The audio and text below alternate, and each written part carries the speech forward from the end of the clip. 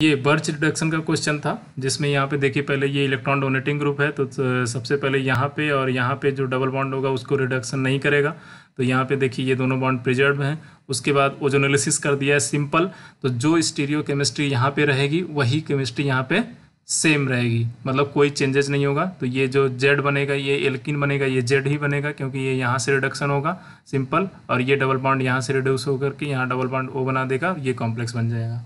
Then इसके बाद ये आपका था हेट्रोसाइक्लिक से कंपाउंड से तो ये सबसे पहले आपको ओ एटी माइनस दिया हुआ था तो सिंपल यहाँ से आप एच प्लस रिलीज़ करके ये मेथाइल ग्रुप आप बनाएँगे देन ये फिर ये एक कार्बोनिल कार्बन पे अटैक करके ये यहाँ से एक सी ओ एटी निकाल देगा।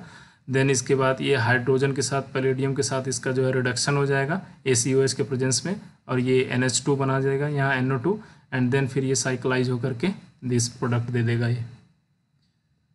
इसके बाद ये क्वेश्चन था कि ग्लूकोज का पूछा हुआ था H plus S C L और एसीटोन के प्रेजेंस में। तो अगर open chain cyclic open form अगर ग्लूकोज का होता है तो ये अगर ये दो फॉर्म में रह सकता है ना। एक होता है फ्यूरनोस फॉर्म दूसरा होता है इसका नॉर्मल साइक्लिक फॉर्म जो सिक्स मेंबर रिंग बनता है। तो सिक्स मेंबर रिंग में ये एसीटोन इसको प्रोटेक्ट नहीं कर पाता है। ये ये कंपाउंड नहीं बन पाता है। जबकि ये जब फ्यूरनोस फॉर्म में होता है तो यहाँ पर जो ये एक्चुअली इसलिए होता है क्योंकि ये मिथाइल जो है एक्सियल पोजीशन में आता है तो यहाँ पर ये स्टेरिक हिंड्रेंस की वजह से ये नहीं बन पाता है प्रोडक्ट जबकि यहाँ पर आप देखोगे जब एच प्लस लेगा तो ये एच प्लस और एसीटोन के प्रेजेंस में ये यहाँ पर ऐड हो जाता है। तो ये सिंपल इस फॉर्म में ये रिएक्शन देगा। इसके बाद ये डायरेक्ट एक क्वेश्चन था बी बी एन क्यू और H two O two N H ये सिंपल ये हाइड्रोबोर्नेशन रिडक्शन था यहाँ पर।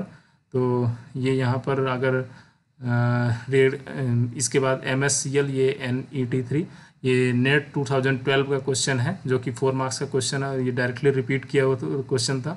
तो यहाँ पे सिंपल ये बिलो द प्लेन से अटैक करेगा इस पोजीशन पे, उसके बाद ये सिंपल हाइड्रोपोनेशन हो जाएगा। फिर यहाँ पे एम एस सी एल है तो ये एक यहाँ पर अच्छा लिविंग ग्रुप हो जाएगा एम एस आकर अटैक हो जाएगा।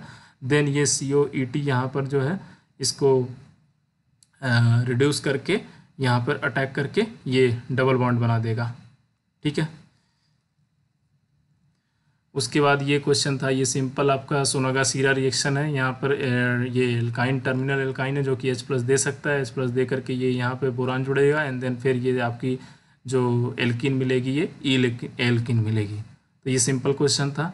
और वो क्वेश्चन जिसके बारे में मैं आपसे डिस्कस कर रहा था कि एक वेव फ़ंक्शन दिया हुआ है जिसमें एच की साई की वैल्यू दिया हुआ है और आपको परसेंटेज एरर निकालना है। तो सबसे पहले आप एवरेज वैल्यू निकालोगे एनर्जी का ज़ीरो टू ए के बीच में। तो वहाँ पर आप psi star Hamiltonian into psi D X करोगे। तो एच की वैल्यू आपको दिया हुआ होगा हम्म, जो कि आप यहाँ से मतलब काइनेटिक एनर्जी दिया हुआ होगा सिंपल क्योंकि उस रेंज में ज़ीरो से ए के बीच में पोटेंशियल एनर्जी ज़ीरो होगा। तो आप सिंपल यहाँ पे एच की वैल्यू ये रख करके इसको सॉल्व करके आप परसेंटेज एरर निकाल सकते हो। तो एवरेज एनर्जी की जैसे वैल्यू आ जाएगी ठीक है? ये आ गई सपोज़ फाइव एच स्क्वायर हाँ upon four pi M A square उसमें ये आपका करके ये सिंपल इसी तरीके से हो जाएगा। देन आपका ये कॉम्प्लेक्स था यहाँ पर लिथियम बेस हुआ, दिया हुआ था टी एच एफ़ के साथ तो ये सिंपल यहाँ पे क्या करता है लिथियम ये माइनस हो जाएगा, यहाँ पर ये निगेटिव चार्ज देन ये फिर यहाँ पर जा करके अटैक करके यहाँ पे जुड़ जाएगा, ठीक है? फिर ये के एच जो कि ये बेस है। बेस के प्रजेंस में ये रिंग यहाँ पर ओपन होकर के और ये इसके साथ जुड़ जाएगी। ठीक है? तो ये प्रोडक्ट बनेगा। उसके बाद एक फ्रेगमेंटेशन का क्वेश्चन था। तो फ्रेगमेंटेशन के केस में ये एससीएल के प्रजेंस में पहले ये रॉबिन्सन एलोनेशन होगा। तो यहाँ पे सबसे पहले एसिडिक कंडीशन में ये जैसे हमारा एल्डोल कंडेंसेशन होता है, वैसे ही सिंपल होगा। तो ये प्रोडक्ट बनेगा। देन इसके बाद ये फ्रेगमेंट होगा। और ये टूट करके रिंग ट्राई मेंबर और ये इस तरह से बन जाएगा। So thank you guys all for watching this video thank you so much we will meet again in next video